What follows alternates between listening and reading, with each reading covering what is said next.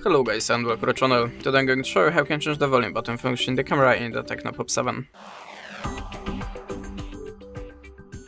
So the first step open the camera app, now tap on the settings icon, then tap on the customize volume button as, and as you can see we can take the photo by the volume buttons and the zoom in and zoom out. So pick your desired function, go back to camera, and now you can use the volume buttons as you wish. And this how it works. Thanks for the watching, leave us a like, a comment, and goodbye.